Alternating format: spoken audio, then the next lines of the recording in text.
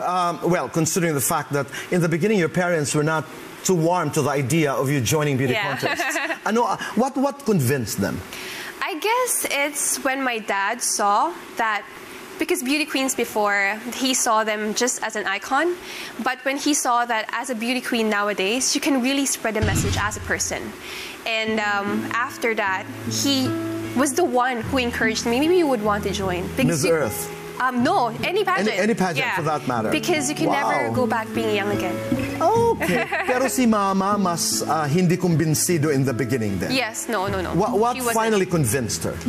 When she saw that my dad was there supporting me, you know, she doesn't want to be contradicting with my dad as well. And slowly her heart changed, and she was the one buying stuff for me. She was the one supporting me. Okay, one big happy family. Yes. Are you going back to teaching at uh, the University of Santo Tomas, where you teach yes. what? Physics And math, yeah. and math. Wow. okay. Ikay ba'y babalik sa pagtuturo? Right now, I'm planning after my Miss Earth is to practice my field of study, which is in this, in the field of radiation oncology. And um, if I'm going As a scientist As a and not physicist, yeah. as a physicist and not as a teacher. um, if I'm going to be given a chance again, why not, right? Oh, wow. yeah, okay. Um, but I'm sure it's going to be a different dynamics now Yes, with, with yes, students, yes. di ba? It's true. Wait, who's your teacher?